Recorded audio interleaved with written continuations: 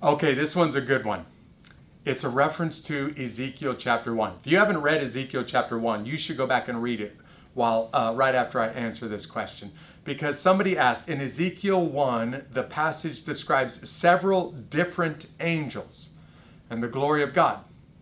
Are those angels the physical manifestation of God's glory? Meaning, are they really a part of Him?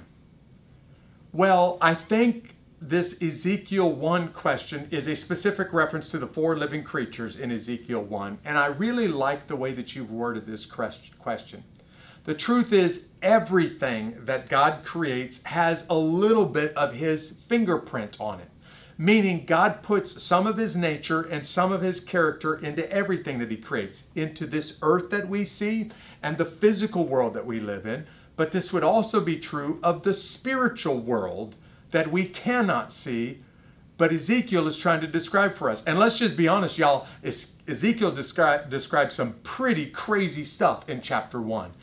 How it, why is he using such outlandish language? Well, Ezekiel is trying to describe what something in the physical or in the spiritual world looks like when there is no physical parallel whatsoever. So, what words do you use to describe something that nobody has ever seen and there's no parallel in the, the human language to describe it? You use words like Ezekiel 1. Are these four living creatures? Physical manifestations of God's glory. That's what they're asking. And Bible scholars are slightly divided on this. Many of them believe that they are kind of there to represent humans in God's presence. They have multiple different uh, parts of human and animal form. So they represent God's creation in His presence.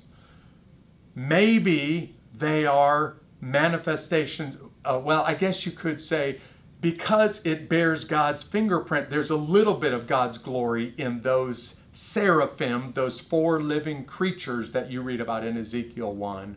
But are they entirely and only a physical manifestation of God's presence? I don't think so.